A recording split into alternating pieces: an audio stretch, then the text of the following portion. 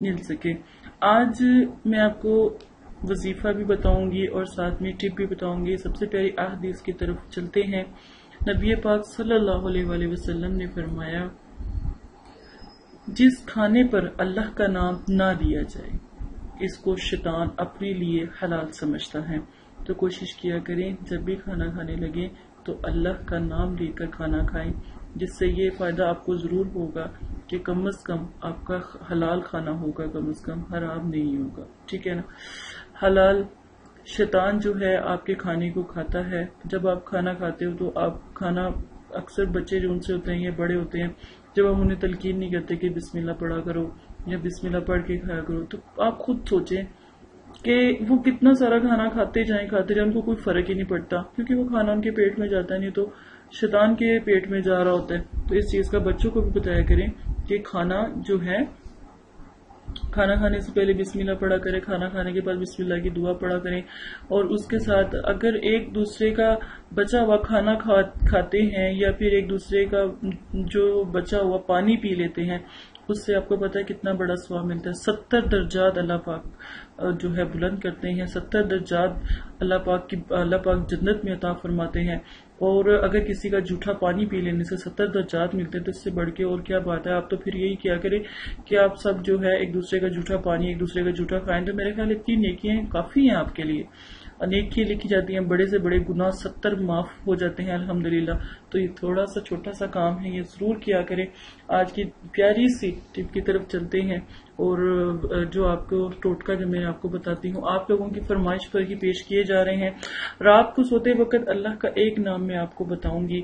الحمدللہ، اللہ کے کرم سے آپ کا رنگ اتنا زیادہ نکھر جائے گا اور آپ یقین مانیں، قیامت تک اس کی روشنی برقرار رہے گی۔ اور اللہ کے بندوں کے جب اللہ کا ذکر کیا جاتا ہے تو ان کے چہروں پہ تو ایک غضب کا نور ہوتا ہے، وہ دیکھنے والا ہوتا ہے۔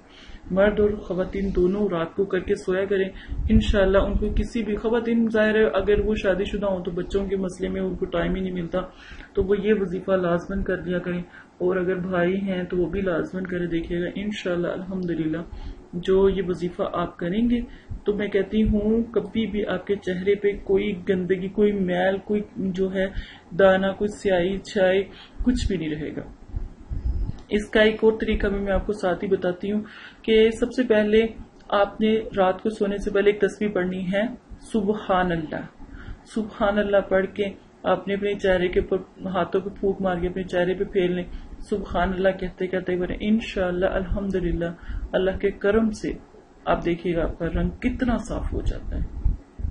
یہ روزانہ کے اگر اگر آپ چہرے پر نہیں پھیر سکتے تو آپ پانی پی لیا کریں، آپ کا اندر سے جسم بھی دھل جائے گا اور الحمدللہ، اللہ کے کرم سے آپ کو دیکھے گا، آپ کی رنگت اتنی نکلے گی کہ لوگ بھی آپ سے پوچھا کریں گے کہ آپ کیا استعمال۔ پھر چہرے کا نور کا ایک، آپ کریمے ایک طرف سے لگا لیں تو وہ نور اور ہوگا۔ اگر آپ چہرے کے آپ نماز وغیرہ پڑھیں یا کچھ ذکر و ذکرات کریں، اس کا نور تو کیا ہی لاجواب ہے۔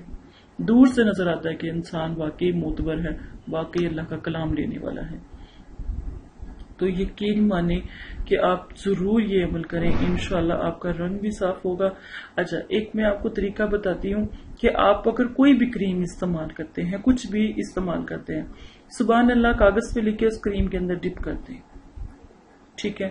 سبحان اللہ، بے شک تینتیس مرتبہ پڑھ کے بھی آپ پھوک مار سکتے ہیں کریم پہ۔ آپ وہ لگائیں۔ آپ کا رنگ، میں کہتی ہوں گارنٹی ہے میرے پاس اس بات کی۔ الحمد اللہ کے ذکر کی، اللہ کے کلام کی گارنٹی دیتی ہوں۔ کہ انشاءاللہ الحمدللہ آپ کا رنگ بہت زیادہ صاف ہوگا۔ دانے بھی اور ہر چیز آپ کے چہرے سے غائب ہو جائے گی۔ اور کیونکہ کلام ربی میں جتنی طاقت ہے، دنیا میں کوئی ایسی چیز جس کے اندر اتنی طاقت ہے۔ بہت پیارا وظیفہ ہے اور اگر آپ استعمال کرنا چاہتے ہیں تو ضرور کریں۔ انشاءاللہ اللہ کے کرم سے دیکھے گا آپ کا رنگ کتنا صاف ہو جاتا ہے۔ اجازت دیں، اپنا خیال رکھے گا۔ دعا میں یاد رکھے گا۔ اللہ حافظ۔ بہت سے لوگوں کی فرمائش پر کہ ہمیں جادو ہے، ہمیں ایسی پریشانی ہے، ویسی پریشانی ہے۔ تو آج میں جادو کی کچھ علامتیں آپ کو بتانے لگی ہوں۔ سب سے پہلے میں آپ کو بتاؤں گی کہ عمومی علامتیں اور خصوصی علامتیں۔ عمومی علامتیں جو ہوتی ہیں، کالے جادو کا شکار پائی جاتی ہیں انسان کے اندر، اور عمومی علامتیں ہوتی ہیں جو عام جادو کیا جاتا ہے۔ یعنی کہ خوابوں میں نظر آنا اور چیزوں کا نمایاں ہونا۔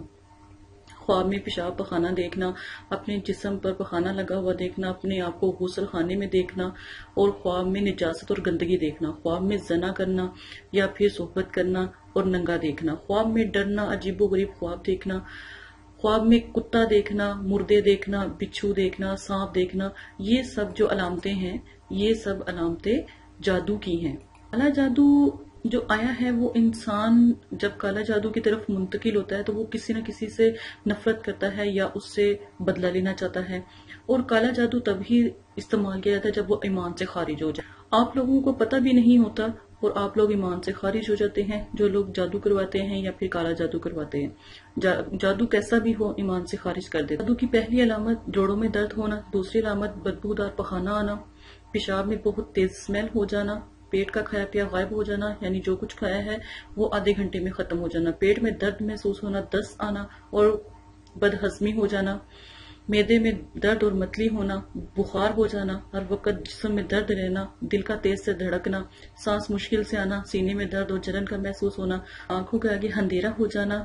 اور جسم کی رگوں کو تکلیف پہنچنا، نزلہ، زکام، اس قسم کی چھینکی آنا جو پہلے آپ کو کبھی بھی نہیں آئی عجیب و غریب سی بدبو آنا، کھانے میں اسمیل ہو جانا، نماز میں نہ دل لگنا اور قرآن پاک پڑھیں تو دل کرنا کہ بند ہو جائے اور پورے جسم کا ہر وقت گرم رہنا، ناک کا گرم رہنا تو بناؤز باللہ نماز سے دوری ہونا اور رسول کریم صلی اللہ علیہ وسلم سے تو بناؤز باللہ نفرت ہونا، دل میں اسلام کی عبادت نہ ہونا اور عبادت کو برا سمجھا جانا۔ کہلی اور سستی رہنا، ہاتھ پیر سون ہو جانا، جسم پر نیلے نشان پڑتے چلے جانا، سر بھاری رہنا، جسم میں سردی کا محسوس ہونا، دن ب دن جسم کا سوکھنے شروع ہو جانا، بلا وجہ تھکاوٹ کا محسوس کرنا، بغیر کسی وجہ کے جسم میں کمزوری محسوس کرنا، کھانے سے پہلے یا کھانے کے بعد منہ سے اسمیل آنا اور عجیب و غریب سی اسمیل یا بدبو آنا، حلق میں عجیب و غریب سی اسمیل کا ہو جانا اور آنکھوں کے سامنے گلابی یا نیلے رنگ کے ڈبے سے نظر آنا عجیب سی لائنیں آنکھوں کے سامنے کالے رنگ نظر آنا یا سیاہ رنگ گھومتا ہوا نظر آنا جیسے کوئی پنکھا چل رہا ہے ہیلی کاپٹر چل رہا ہے، عجیب و غریب سی آوازیں آنا۔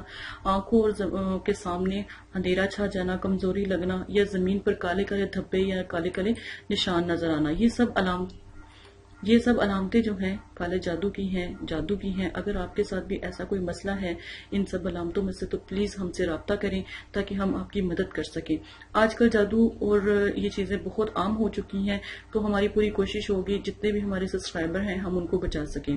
اور کچھ تدابیر یا کچھ چیزیں ہم آپ کو بتائیں گے، انشاءاللہ اللہ کے حکم سے اگر آپ کے ساتھ یہ سب ہو رہا ہے، کاروبار میں بندش آ رہی ہے، گھر میں ناچاکی ہو رہی ہے، لڑائی ہو رہی ہے، جھگڑے ہو رہے ہیں، کہیں بچے بدتمیز ہو رہے ہیں، کہیں والدین کا احترام نہیں ہو رہا۔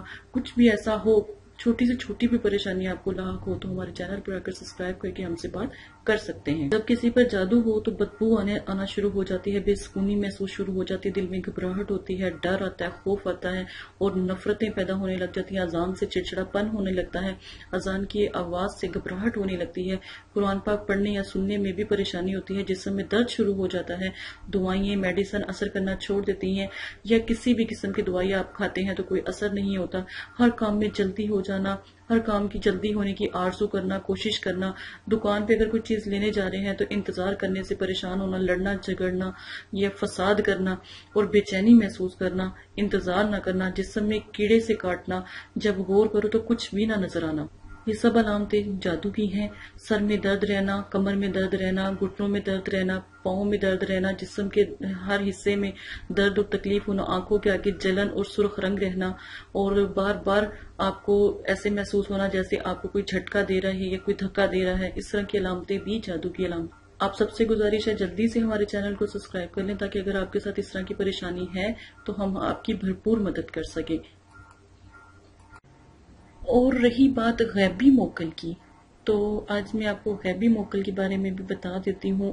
عمل آپ نے کچھ بھی نہیں کرنا ہوتا، آپ کو ایک ریکارڈنگ دی جائے گی، وہ آپ نے سننی ہے۔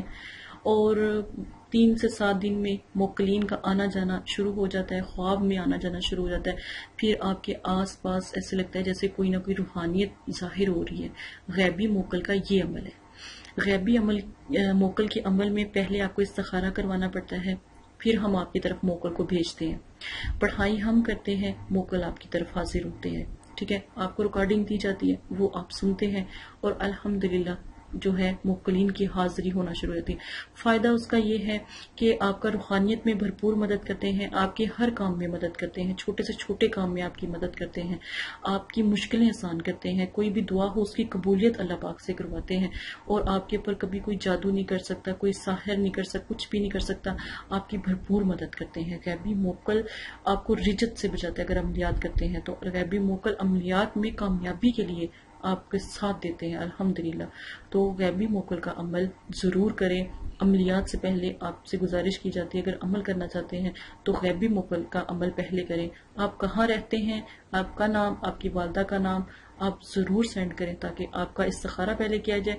بہت سے لوگوں کی غیبی موکل میں جو ہے میلز آئیں، لیکن جس جس کا نصیب تھا، یہ جس جس کے نصیب میں پڑھائی تھی، ہم نے صرف ان کو دیا ہے۔ تو اگر آپ بھی عمل میں شامل ہونا چاہتے ہیں، غیبی موکل کا عمل لینا چاہتے ہیں، تو آپ بھی بھرپور حصہ لیں۔ انشاءاللہ آپ کے ساتھ بھی آپ کا حساب کیا جائے گا، استخارہ کیا جائے گا۔ اگر آپ کو اللہ پاک نے اس چیز کا شرف دیا ہے، تو ضرور آپ یہ عمل کریں۔ یہ